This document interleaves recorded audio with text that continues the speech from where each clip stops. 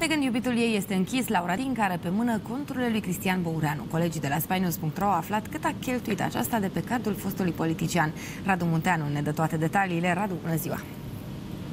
Bună ziua, Laura. Da, e adevărat. Laura Dincă este foarte, foarte atentă cu ceea ce uh, cheltuiește de pe cardurile iubitului ei, care, așa cum știe toată lumea, este un pic uh, uh, cazat în arestul uh, capitalei, uh, arestul poliției capitale. Motivele fiind știute de absolut toți, uh, acel scandal de pomină cu polițiștii de la rutieră de, din seara de 8 iunie.